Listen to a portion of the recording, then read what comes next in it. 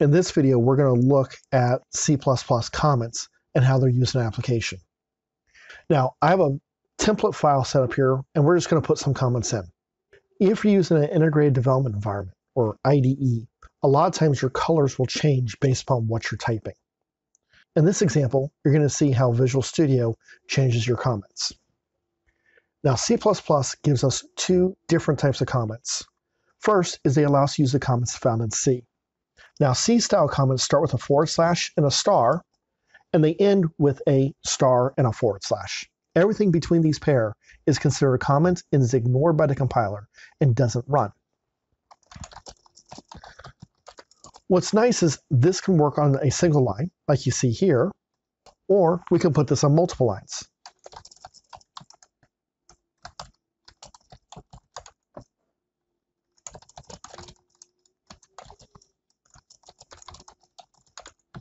This can occur anywhere that you want. In fact, you can even put in the middle of a line of code. That way, a certain section of your code does not run.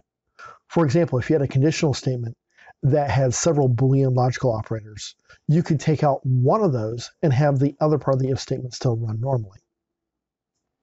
It's quite common before a function to have a comment like this to define your function name, the inputs, the outputs, and what the function is supposed to be doing.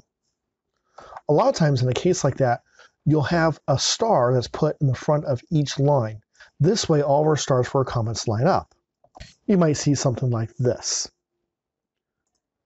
With the advent of C++, we also got a single line comment, and that's simply two forward slashes.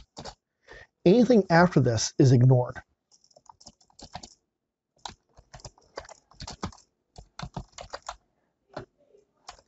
Notice it does not have a closing set for this comment. Therefore, if you go to a second line, it is not commented out. And in our case, the IDE, Visual Studio, is showing that it's going to provide some errors for us because certain things are not being used either correctly or are not previously defined. If I want to have multiple lines of comments for my C++, I can do something like And then on my second line,